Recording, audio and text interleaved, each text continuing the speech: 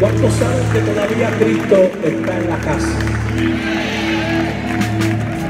Dice así. ¿Cómo dice?